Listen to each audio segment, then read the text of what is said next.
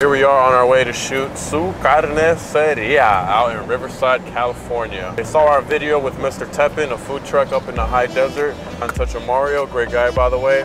Um, there's some things about meat markets you don't want to record and grab, and we're gonna avoid that. We're gonna hone in on the meat, hone in on the cut in, all the veins, get all that meat, get the meat print. here we are, Su Carniceria. They're here in Riverside.